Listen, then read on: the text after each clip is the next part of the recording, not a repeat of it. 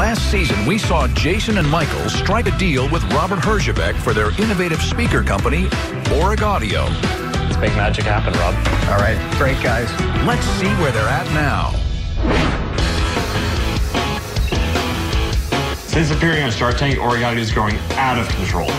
We've relocated from Chicago to our brand new offices in sunny Southern California. We have nine employees now.